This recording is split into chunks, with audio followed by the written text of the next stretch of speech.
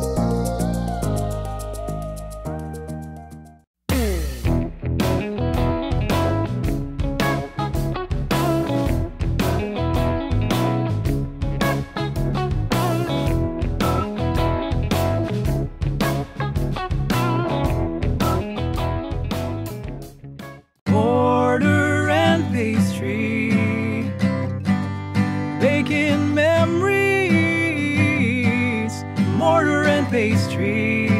We'll be baking, creating, compounding sweetness.